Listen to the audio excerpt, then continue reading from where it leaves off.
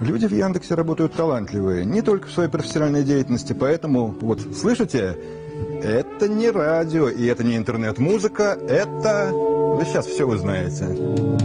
Tall